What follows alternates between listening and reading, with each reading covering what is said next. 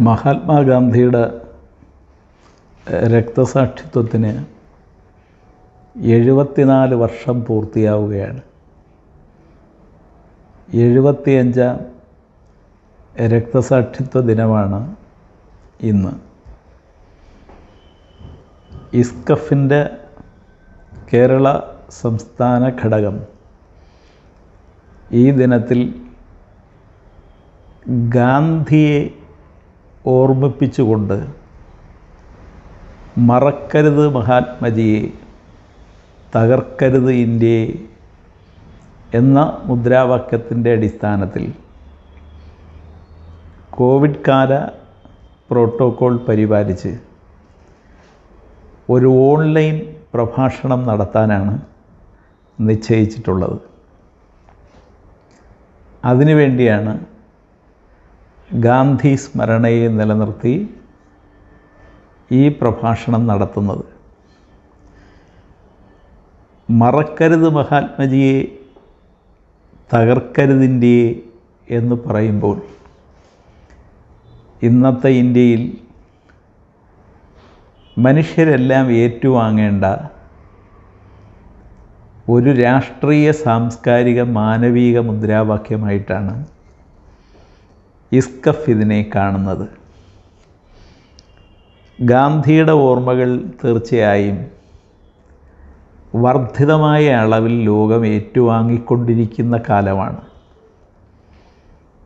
എന്നാൽ ഇന്ത്യയിൽ അതിനെ എതിർക്കുന്നവർ രാഷ്ട്രീയാധികാരത്തിൽ എത്തിയ കാലത്താണ് ഇന്ന് നമ്മൾ ജീവിക്കുന്നത്. മതനിരപേക്ഷ ഭാരതത്തിന്റെ പൊതുരാഷ്ട്രീയ ഭൂമികയിൽ മഹാത്മാഗാന്ധിയും ജവഹർലാൽ നെഹ്റുവുമെല്ലാം ഏത് കാലത്തേക്കാൾ പ്രസക്തമായ ഒരു കാലമാണ് ഈ കാലം? മതേതരത്വമുണ്ടെങ്കിലേ ജനാധിപത്യം നിലനിൽക്കുകയുള്ളൂ. ജനാധിപത്യം അതിന്റെ പൂർണാർത്ഥത്തിൽ ജനങ്ങൾ സ്വാതന്ത്ര്യത്തോടെ ഉപയോഗിക്കാൻ ശ്രമിക്കുമ്പോഴാണ് നമ്മുടെ രാജ്യത്തിലെ എല്ലാ വൈവിധ്യങ്ങളും ആ വൈവിധ്യങ്ങളിൽ വന്നു ചേരുന്ന എല്ലാ തരത്തിലുള്ള തർക്കങ്ങളോ സംവാദങ്ങളോ എല്ലാം ഉൾക്കൊള്ളാനുള്ള ഒരു വിശാലമായ രാഷ്ട്രീയ സ്വഭാവം നമുക്ക് ജീവിതത്തിൽ തന്നെ കൈവരിക്കാൻ കഴിയുന്നത്. ആയിരത്തി തൊള്ളായിരത്തി നാൽപ്പത്തി എട്ട് ജനുവരി മുപ്പതിന് മഹാത്മാഗാന്ധി ഒരു ഹിന്ദു വർഗീയവാദികളുടെ വാദികളുടെ കയ്യാൽ വധിക്കപ്പെടുമ്പോൾ ഒരു രാജ്യത്ത് ഗാന്ധി സൃഷ്ടിച്ച സ്വാതന്ത്ര്യത്തിന് വേണ്ടിയുള്ള പോരാട്ടവും അദ്ദേഹം അതിൽ നിക്ഷേപിച്ച മൗലികമായ സമരത്തിന്റെ പുതിയ രൂപങ്ങളും രാജ്യവും ലോകവും വല്ലാതെ ശ്രദ്ധിക്കുകയും ഒരുപക്ഷെ മരണത്തിന് ശേഷം ഇത്രയേറെ തരത്തിൽ ചർച്ച ചെയ്യപ്പെട്ട മറ്റൊരു മഹാജീവിതം ആധുനിക കാലത്ത് നയിച്ച മറ്റൊരാൾ ഉണ്ടാവില്ല അത് ഇന്ത്യ എത്രത്തോളം സ്വീകരിക്കുന്നു എന്നത് ഇന്നത്തെ ഇന്ത്യയിൽ പ്രസക്തമായ ചോദ്യമായി മാറുന്നുണ്ട്. ഗാന്ധി ആയിരത്തി എണ്ണൂറ്റി അറുപത്തി ഒൻപത് ഒക്ടോബർ രണ്ടാം തീയതി ഗുജറാത്തിൽ പോർബന്തറിൽ ജനിക്കുമ്പോൾ അദ്ദേഹം ഒരു സാധാരണ കുഞ്ഞായിരുന്നു. ചാതവർണ്യ വ്യവസ്ഥയുടെ കുറച്ച് താഴെ തട്ടിലുള്ള ഒരു വൈശ്യ വിഭാഗത്തിലെ കുടുംബത്തിൽ ജനിച്ച ഒരു ഇടത്തരം കുടുംബത്തിലെ ഒരു സാധാരണ കുഞ്ഞും വിശ്വാസിയായ കുഞ്ഞുമായിരുന്നു മോഹൻചന്ദ് കരം കരംചന്ദ് ഗാന്ധി. ഈ മോഹൻദാസ് കരംചന്ദ് ഗാന്ധി എങ്ങനെയാണ് മഹാത്മാഗാന്ധിയായി എന്നത് അദ്ദേഹത്തിന്റെ ജീവിതം പഠിക്കുന്നവർക്കെല്ലാം അത്ഭുതമായി തോന്നുന്ന ഒരു കഥയാണ്. അദ്ദേഹം ഓരോ സന്ദർഭത്തിലും വളരുകയായിരുന്നു. അദ്ദേഹം വിശ്വാസപരമായി അദ്ദേഹം തന്നെ പറയുന്നത് ഒരു സനാതന ഹിന്ദു എന്നാണ്. അവിടെ നിന്നാണ് അദ്ദേഹം അദ്ദേഹത്തിന്റെ അമ്മയും കുടുംബാംഗങ്ങളും തന്റെ ചുറ്റുപാടുമുള്ളവരും തന്നിൽ നിക്ഷേപിച്ച ജീവിത രീതിയെയും വിശ്വാസ പ്രമാണങ്ങളെയുമെല്ലാം മറികടന്നാണ് അദ്ദേഹം രാജ്യത്തിന്റെ സ്വാതന്ത്ര്യ സമരത്തിന്റെ മുഖ്യ നായകനായി മാറുന്നത്. അവിടെ അദ്ദേഹം പുതിയ പരീക്ഷണങ്ങൾക്ക് തന്നെയും തന്റെ സമരങ്ങളെയും തന്റെ പ്രസ്ഥാനത്തെയും തന്റെ കാലത്തെയും അദ്ദേഹം വിനിയോഗിക്കുകയായിരുന്നു. അതുകൊണ്ടാണ് അദ്ദേഹം എഴുതിയ അദ്ദേഹത്തിന്റെ ആത്മകഥ അദ്ദേഹത്തിന്റെ സത്യാന്വേഷണ പരീക്ഷണങ്ങളായത്. ഇങ്ങനെ സത്യാന്വേഷണ പരീക്ഷണങ്ങളായ തന്റെ ജീവിതത്തെ മുന്നോട്ട് കൊണ്ടുപോയ മനുഷ്യനാണ്. ഇന്ത്യയിലുള്ള എല്ലാ പൂർവകാല ചിന്തകളും അതിന്റെ നന്മകളുമെല്ലാം സംസ്കൃതം അറിയാത്തതുകൊണ്ട് അതിന്റെ പ്രാഥമികാർത്ഥത്തിൽ അദ്ദേഹം മനസ്സിലാക്കുന്നത് ബ്രിട്ടനിൽ പഠിക്കുന്ന കാലത്ത് ഇംഗ്ലീഷിൽ എഴുതിയ ഇംഗ്ലീഷുകാരന്റെ ഇന്ത്യൻ ചിന്തകളും പുരാണ ഇതിഹാസങ്ങളും ഭഗവത്ഗീതയുമെല്ലാം അതിലേക്ക് മാറ്റിയത് അദ്ദേഹം വായിച്ചാണ്. ഇന്ത്യയുടെ മഹത്തരമായ പൂർവകാല മൂല്യങ്ങളും നന്മകളും അദ്ദേഹം മനസ്സിലാക്കുന്നത്. അതിനുശേഷമാണ് അദ്ദേഹം അതിലേക്ക് കൂടുതൽ ശ്രദ്ധിക്കുകയും പഠനത്തിന് അത്തരം കാര്യങ്ങൾ വിനിയോഗിക്കുകയും ചെയ്തത്. അദ്ദേഹത്തിന്റെ ആദ്യകാല സമരങ്ങളുടെ പരീക്ഷണശാല ദക്ഷിണാഫ്രിക്കയിലെ തൊഴിലാളികളും ഇന്ത്യക്കാരും സാധാരണക്കാരുമായ മനുഷ്യരായിരുന്നു. അവിടെ അദ്ദേഹത്തിന്റെ പരീക്ഷണങ്ങളെല്ലാം പരമാവധി വിജയിച്ചില്ലെങ്കിലും ലോകത്ത് സമരങ്ങൾ പരീക്ഷിക്കാനുള്ള ജനങ്ങളുടെ വേദന ഏറ്റുവാങ്ങാനുള്ള അതിന് പരിഹാരം കാണാനുള്ള ഒരു മനുഷ്യന്റെ നേതൃപരമായ ഉത്തരവാദിത്വം അദ്ദേഹം സ്വായത്തമാക്കുകയായിരുന്നു. അതിനുശേഷമാണ് അദ്ദേഹം ഇന്ത്യയുടെ സ്വാതന്ത്ര്യ സമര പന്ഥാവിലേക്ക് പ്രവേശിക്കുന്നത്. അങ്ങനെ പ്രവേശിക്കുമ്പോൾ അദ്ദേഹം ആദ്യം ചെയ്തത് ഇന്ത്യയെ അറിയുക എന്നതായിരുന്നു. രാജാവിനെയും ചാതുർവർണത്തെയും പൗരോഹിത്യത്തെയും മറ്റൊരുപാട് തരത്തിലുള്ള ജീവിത രീതികളെയും അതിന്റെ പല തട്ടുകളെയും അറിഞ്ഞ് വിധിയെന്ന് ധരിച്ച് പരിവർത്തനത്തിന് വിധേയമാകാതെ നിന്ന ഒരു രാജ്യത്തിലെ മനുഷ്യരെ തിരിച്ചറിയുക എന്നത് അതിന്റെ ഭൂപ്രദേശങ്ങളെ അറിയുക എന്നത് അതിന്റെ വൈവിധ്യപൂർണമായ അംശങ്ങളെ അറിയുക എന്നത് അദ്ദേഹം സ്വീകരിച്ച ഒരു മാർഗമായിരുന്നു. അതിന് അദ്ദേഹം ശ്രദ്ധിച്ചത് ട്രെയിനിലെ മൂന്നാം ക്ലാസ് കമ്പാർട്ട്മെന്റിൽ സഞ്ചരിക്കുക എന്നതായിരുന്നു. അവിടെ സഞ്ചരിക്കുന്ന മനുഷ്യന്റെ പ്രത്യേകതകൾ മനസ്സിലാക്കുക എന്നതായിരുന്നു. അതിനെല്ലാം അദ്ദേഹം ഒരു വേഷം സ്വീകരിച്ചു. അതും വളരെ പ്രധാനമാണ്. അതൊരു പുരോഹിതന്റെ വേഷമല്ല ഒരു രാജാവിന്റെ വേഷമല്ല ഒരു നേതാവിന്റെ വേഷമല്ല ഒരു പട്ടാളക്കാരന്റെ വേഷമല്ല. ഇന്ത്യയിലെ മഹാഭൂരിപക്ഷം മനുഷ്യനെ അന്ന് ജീവിതത്തിൽ അവനുള്ള അർത്ഥനഗ്നത മാത്രം മറയ്ക്കാനുള്ള ഒരു അർത്ഥ അർദ്ധനഗ്നായ ഇന്ത്യയിലെ ദരിദ്ര കർഷകന്റെ വേഷമാണ്.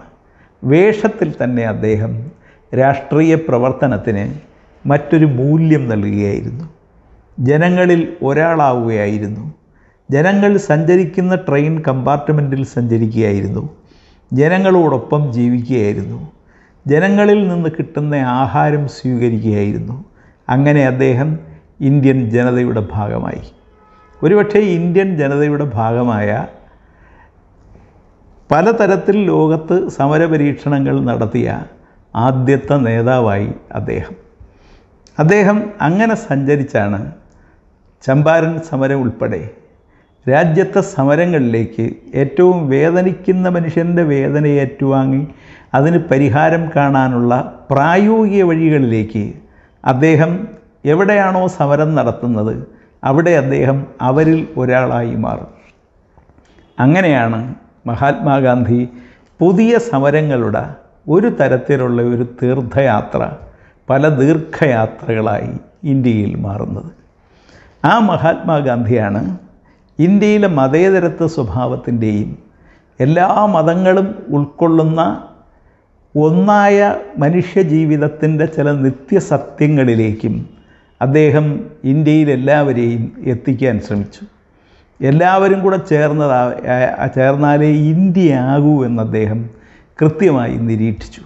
അദ്ദേഹം സബർമതിയിൽ ആയിരത്തി തൊള്ളായിരത്തി ഇരുപത്തി ഒമ്പതിൽ നടത്തിയ സർവമത സമ്മേളനത്തിലും അദ്ദേഹം പറഞ്ഞത് ഒന്നൊന്നിനെ കീഴ്പ്പെടുത്തുകയല്ല.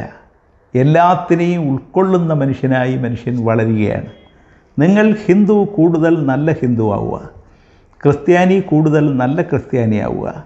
മുസ്ലിം കൂടുതൽ നല്ല മുസ്ലിം ആവുക അങ്ങനെ രാമന് തന്നെ റഹീമാകാനും കഴിയുക. എല്ലാവരും ഇന്ത്യക്കാരാവുക. ഇന്ത്യക്കാരാകുവാൻ നിങ്ങൾ മതേതരത്വ മനുഷ്യരാവുക. അങ്ങനെ മതേതരത്വ മനുഷ്യരായിക്കൊണ്ട് നിങ്ങൾ മതത്തിന്റെ രീതികളും മതത്തിന്റെ നന്മകളും മനുഷ്യ മതത്തിന്റെ ആചാരങ്ങളും നിങ്ങൾ വ്യക്തിജീവിതത്തിൽ സംരക്ഷിക്കുക. രാഷ്ട്രീയ ജീവിതത്തിൽ നിങ്ങൾ നല്ല മനുഷ്യരായ ഇന്ത്യക്കാരാകുക ഇത് ഗാന്ധി എപ്പോഴും പറഞ്ഞതാണ്.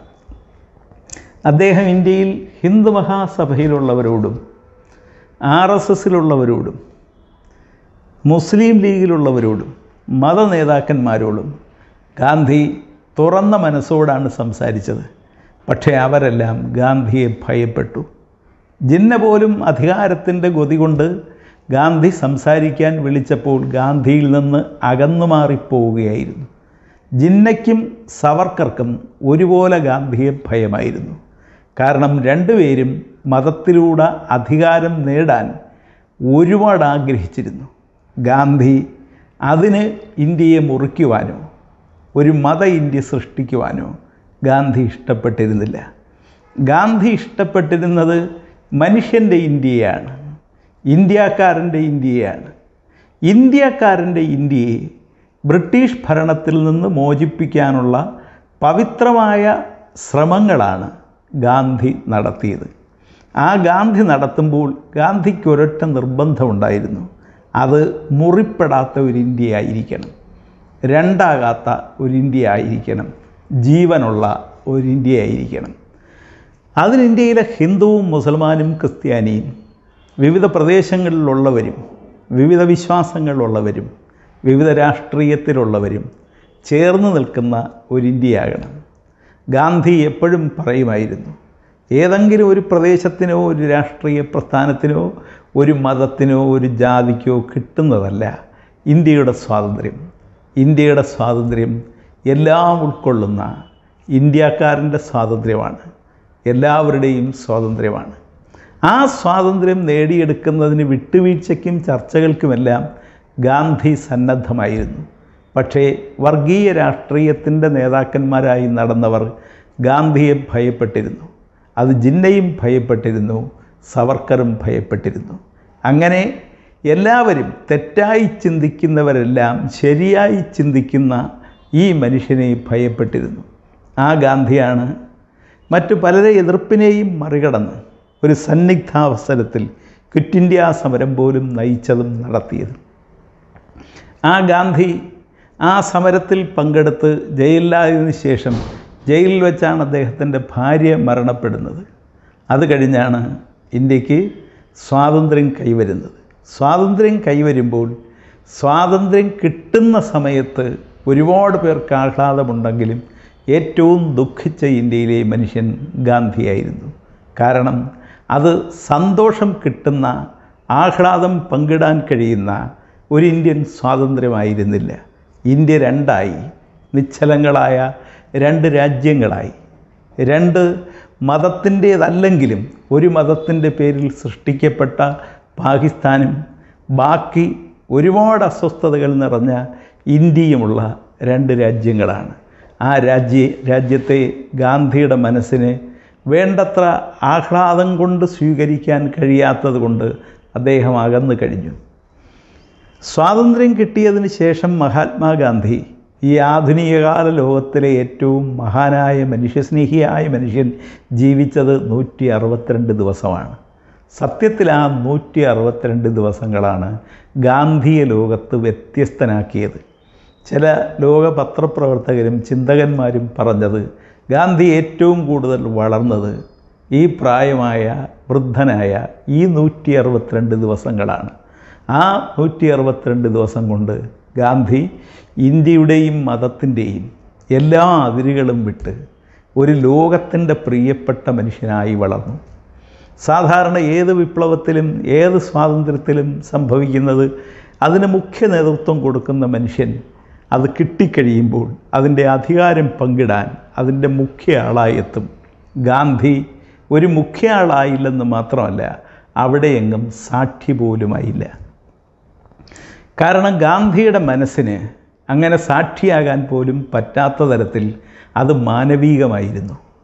അവിടെ രാഷ്ട്രീയം ഉണ്ടായിരുന്നില്ല മതം പോലും ഉണ്ടായിരുന്നില്ല. അദ്ദേഹത്തിന്റെ ദൈവം സത്യവും സ്നേഹവുമായിരുന്നു. അത് ഇന്ത്യയിൽ ആ സമയത്ത് എല്ലാ അർത്ഥത്തിലും നഷ്ടപ്പെട്ടുകൊണ്ടിരുന്നു. പാകിസ്ഥാനിൽ നിന്ന് അഭയാർത്ഥികൾ ഇങ്ങോട്ടും ഇവിടെ നിന്ന് അങ്ങോട്ടും അതിലേറ്റവും കൂടുതൽ പഞ്ചാബിലും ബംഗാളിലുമായിരുന്നു. അതിന്റെ ഏറ്റവും ദൈന്യമായ മുഖം ബംഗാളിലായിരുന്നു. ആ ബംഗാളിലെ മനുഷ്യൻ മനുഷ്യനെ ശത്രുവായി കാണുന്ന അതിന് മതം ഒരു ഉപാധിയാകുന്ന ഒരവസ്ഥയിൽ ഗാന്ധി അവിടേക്ക് പോവുകയായിരുന്നു. അങ്ങനെയാണ് കൽക്കട്ടയിൽ അദ്ദേഹം ഒരു മുസ്ലിം കുടുംബത്തിന്റെ മുറ്റത്ത് സത്യാഗ്രഹം ഇരുന്നത് ആ സത്യാഗ്രഹത്തിൽ പട്ടാളക്കാർക്കും പോലീസുകാർക്കും കഴിയാത്ത ഒരു കാര്യം ഈ വൃദ്ധനായ ഒരായുധവുമില്ലാത്ത അർദ്ധനഗ്നായ ഫക്കീർ എന്ന് വിൻസ്റ്റൺ ചർച്ചിൽ വിളിച്ച ഈ മനുഷ്യന് കഴിഞ്ഞു. അദ്ദേഹം ഹിന്ദുക്കളും മുസ്ലിങ്ങളും നിറഞ്ഞ കലാപകാരികളോട് കുറ്റങ്ങൾ ചെയ്യുന്ന മനുഷ്യരോട് പരസ്പരം വെറുക്കുന്നവരോട് പരസ്പരം കൊല്ലുന്നവരോട് ആയുധങ്ങൾ കയ്യിലേന്തിയവരോട് ആശയങ്ങൾ നഷ്ടപ്പെട്ടവരോട് ഇന്ത്യ എന്ന വികാരം അകത്തില്ലാത്തവരോട് നല്ലവരല്ലാത്ത മനുഷ്യരോട് അദ്ദേഹം ഒറ്റ അഭ്യർത്ഥനയെ നടത്തിയുള്ളൂ. ഞാനിവിടെ നിങ്ങളുടെ മുമ്പിൽ പട്ടിണി കിടന്ന് മരിക്കും. ഞാൻ രാജ്യത്തിന് വേണ്ടി പ്രയത്നിച്ച് എന്റെ രാജ്യത്തിന് സ്വാതന്ത്ര്യം കിട്ടി. പക്ഷേ ആ സ്വാതന്ത്ര്യം ശരിയായി അറിയാനും അനുഭവിക്കാനും കഴിയാത്ത തെറ്റ് ചെയ്യുന്ന നിങ്ങൾ അത് നിർത്തിയില്ലെങ്കിൽ ഞാൻ നിങ്ങൾക്ക് വേണ്ടി എന്റെ ദൈവത്തോട് പ്രാർത്ഥിച്ച് പട്ടിണി കിടന്ന് മരിക്കും. അങ്ങനെയാണ് അവരോരോരുത്തരും ഗാന്ധിയുടെ ഈ സ്വയം പട്ടിണി കിടക്കുന്ന സ്വന്തം ശരീരത്തെ പീഡിപ്പിക്കുന്ന തങ്ങളുടെ തെറ്റിന് സ്വയം പീഡനം ഏറ്റുവാങ്ങുന്ന അദ്ദേഹം അവിടെ ദിവസങ്ങളോളം പട്ടിണി കിടക്കുമ്പോൾ പലരും അദ്ദേഹത്തോട് ആഹാരം കഴിക്കാനും അദ്ദേഹം മരിക്കാതിരിക്കാൻ വേണ്ടി ഒരുപാട് തരത്തിലുള്ള ഇടപെടൽ നടത്തുമ്പോഴും അദ്ദേഹം പറഞ്ഞത് ഇവർ ഇതെല്ലാം നിർത്തി ഒരുമിച്ച് വന്ന് ആയുധങ്ങൾ അടിയറ വെച്ച് ഇനി പരസ്പരം കൊല്ലുകയില്ല എന്ന് പരസ്പരം വെറുക്കില്ല എന്ന് ഉറപ്പിച്ച് പറഞ്ഞാലേ ഞാൻ എന്റെ പട്ടിണി സമരം അവസാനിപ്പിക്കും. അതവർ ചെയ്തു. അത് ആയിരത്തി തൊള്ളായിരത്തി നാൽപ്പത്തി ഏഴ് സെപ്റ്റംബർ അഞ്ചാം തീയതിയാണ്. അന്നാണ് അത് ചെയ്ത് ഒരു പട്ടാളത്തിനും പോലീസിനും ഒരു സൈന്യത്തിനും കഴിയാത്ത ഒരു കാര്യം ഒരു വൃദ്ധനായ മനുഷ്യൻ അകത്ത് മാനവീകതയുടെ നന്മ ഒരു വിളക്ക് പോലെ മനുഷ്യന്റെ മുമ്പിൽ അണയാതെ തെളിച്ചുകൊണ്ട് നടക്കുന്ന ഒരു മനുഷ്യൻ മെലിഞ്ഞ് മെലിഞ്ഞ് മെലിഞ്ഞ് മരിക്കാറായി മനുഷ്യന് വേണ്ടി ആ മരണം പോലും സന്തോഷപൂർവം മനുഷ്യന് വേണ്ടി ഏറ്റുവാങ്ങുന്ന ഒരു മനുഷ്യന്റെ മുമ്പിൽ എല്ലാ ആയുധങ്ങളും അടിയറ വയ്ക്കപ്പെട്ടു. കൽക്കട്ട സമാധാനത്തിലേക്ക് തിരിച്ചു